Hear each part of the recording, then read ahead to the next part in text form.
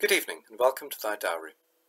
Some associate devotion to Mary with more typically Catholic countries, such as Italy and Spain, but in actual fact England was historically a very Marian country, before the iconoclastic tendencies of the Reformation all but suppressed this popular devotion. Looking at the songs and poems of medieval England, most notably Chaucer, together with a proliferation of shrines and churches dedicated to Our Lady, we can see her prominence in the country's spirituality. We even find this in the number of academic institutions that bear her name. For instance, no less than four Oxford colleges were dedicated to her, two of which have survived modernity as Oriel and New College, while the public schools at Eton and Winchester also started off as St Mary's. This focus on the Blessed Virgin explains why 14th century preachers singled out England as somehow belonging in a particular way to Mary as her dowry.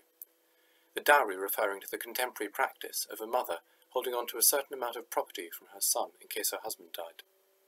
In the same way, England was viewed as in some way specially given to Our Lady by her son, due to its preeminence in devotion to her. The phrase gained official recognition when in 1381 King Richard II consecrated England to Our Lady, with the Latin phrase, Dos tua Virgo Pia haec est, quare Rege Maria. This is thy dowry, O pious Virgin Mary, for thee to rule depicted in the famous Wilton diptych in the National Gallery.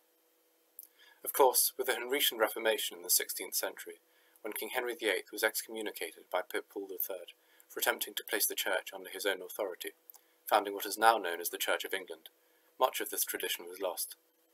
But recusant Catholics held on to their distinctive Marian spirituality in defiance of the Protestant establishment, so much so that in 1893, 43 years after the restoration of the Catholic hierarchy in England and Wales, Pope Leo XIII spoke of that wonderful filial love which burnt within the heart of your forefathers towards the great Mother of God, to whose service they consecrated themselves with such abundant proofs of devotion that the kingdom itself acquired the singular and highly honourable title of Mary's Dowry.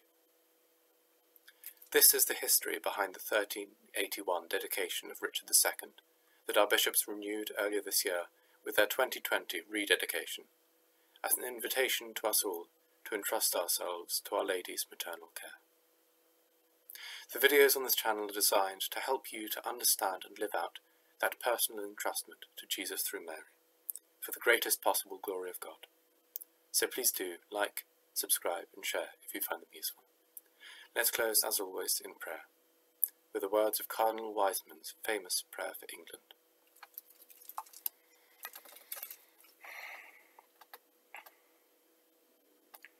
O blessed Virgin Mary, Mother of God, and our most gentle Queen and Mother, look down in mercy upon England thy dowry, and upon us all who greatly hope and trust in thee. By thee it was that Jesus, our Saviour and our hope, was given unto the world, and he has given thee to us that we might hope still more.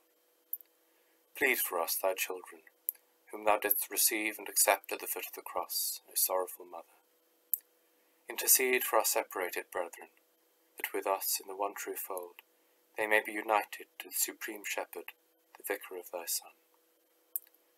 Pray for us all, dear Mother, that by faith fruitful in good works we may all deserve to see and praise God, together with thee and all the saints in our heavenly home. Amen. God bless you.